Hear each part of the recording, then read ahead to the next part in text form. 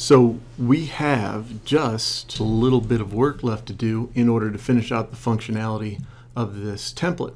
The purpose of the template again is to find uh, probabilities related to normal distributions. We have wrapped up our discussion of finding probabilities uh, surrounding standard normal distributions. We're going to move now to talking about finding probabilities for variables that are distributed normally but not standard normally. That is, they have some mean other than zero and or some standard deviation other than one. So in order to find probabilities for a normally distributed variable, the first step is standardization. If you'd like some intuition into the standardization process, you can click the link that is appearing right now.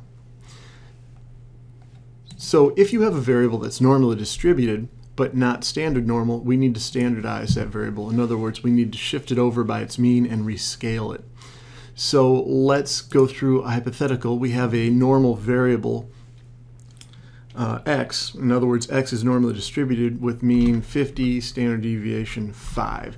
And we want to know the probability that x is between, say, 45 and 51. How would we go about finding that? We need to go from a normal variable to a standard normal variable. In order to do that, we need to shift the distribution to, in this case, to the left 50 units. So equals x minus 50. And that will shift that distribution from a normal distribution mean 50 to a normal distribution mean 0. Then we need to rescale it by its own standard deviation uh, or divided by sigma in this case. And now we have a variable that is standard normal in its distribution. We'll do the same thing for x high in this case. Uh, so take x and subtract from it its own mean and rescale it by its own standard deviation. Now we have our two z values.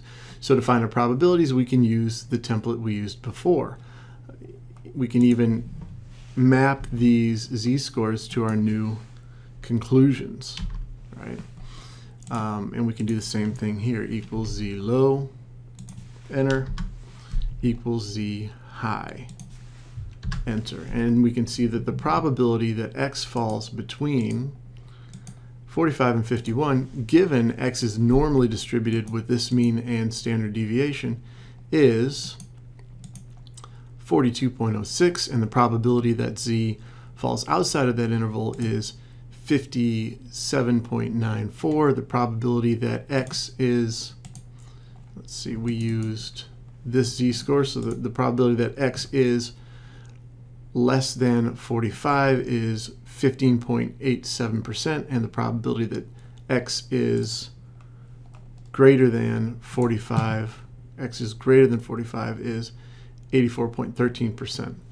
Now, the last thing that we have to do is how do we work backwards in this scenario? We know from before that we can work from a probability to a z-score. How do we then work to an x? In other words, what is x in this case such that 84% of the um, observations from that distribution will fall below that x? Well, to get from x or to get from x to z, we subtracted mu from x and divided by sigma.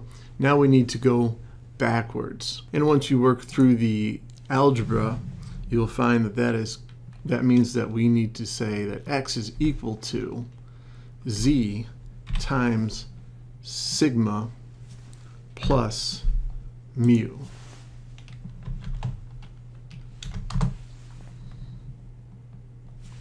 And the same here.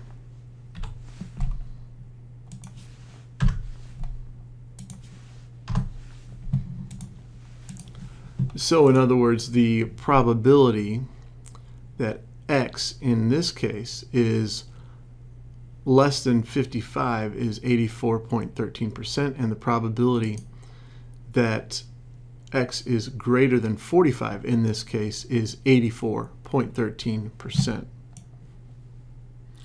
I have put in a button here that will clear all of the results so that uh, will prevent confusion between running this template on different problems.